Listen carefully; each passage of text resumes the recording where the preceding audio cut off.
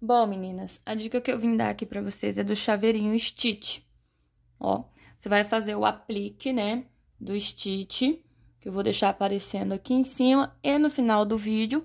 Aí você vai fazer o aplique todinho, do rostinho, a orelhinha, tingir. A parte de trás, olha como eu fiz.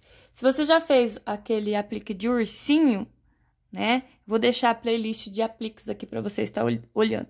Se você já fez aquele, play, é, aquele ursinho, você já vai saber fazer isso aqui, né? Aqui eu fiz um anel mágico, tá? O anel mágico. Fiz 15 pontos altos. Aqui na outra carreira, eu fui fazendo dois pontos altos junto, aumento de ponto alto. Ó. Deixa eu aumentar a luz aqui, o brilho da tela. Tá vendo, ó? Fiz 15 pontos altos, daí eu fui fazendo aumento de pontos altos, que totalizou aqui 30 ponto alto.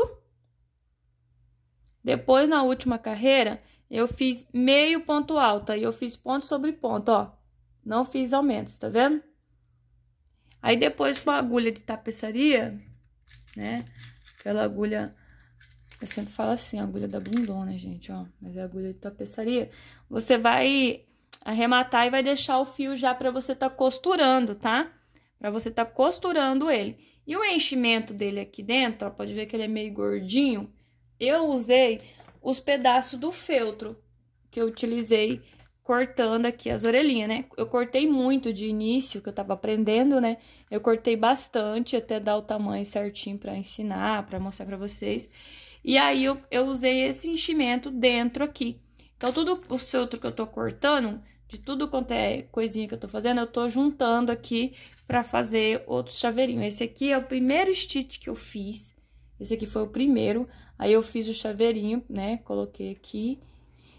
E eu vou dar ele de presente pra minha irmã, Karine, que ela também é apaixonada pelo stitch, assim como eu, né? Então, ela vai ficar de lembrança aí com o meu primeiro stitch que eu fiz aqui, que eu fiz, né? Depois eu fiz os outros para gravar, pra pôr no canal, que resultou nesses aqui, ó. E aí, fiz no colei no sapatinho um aplique, né? Já tem vídeo também aqui no canal desse aplique. E eu dando dica de qual sapatinho que é esse aqui, que é o sapatinho de lastex, de customizar. E aí, ó, pra vocês verem a diferença, né? Esse é o primeiro stitch, esses aqui já foi os outros. Depois que eu pratiquei aqui, cortando, achando as medidas, para estar tá ensinando vocês um jeito bem fácil. E ficou desse jeito, olha, imagina você fazer esse kitzinho, fazer um stitch desse e dar pra mãezinha de brinde, pra ela pendurar na bolsinha do bebê, né?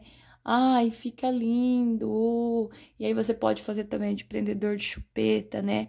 Aí ao invés de você colocar o enchimento aqui, você vai, né, colocar o bico de pato, igual eu ensino, colar o feltro para tampar os arremates.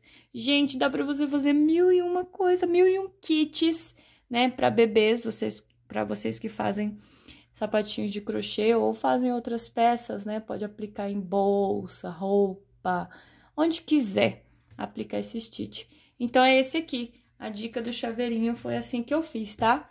Então, ó, fiz a cabecinha do stitch, a frente, e a parte de trás igual eu expliquei pra vocês. E aí, vim costurando assim, ó. Eu fui costurando assim mesmo. Pegava duas laçadinhas, aí pe procurei pegar as laçadinhas de baixo dos pontos baixíssimos, tá? Deixei os pontos baixíssimos aqui, de quando eu passo pra finalizar. Peguei por trás os pontos baixíssimos e ficou esse resultado aqui, ó. Aí, ó. A costura aqui na orelhinha. E ficou assim, o chaveirinho do Stitch.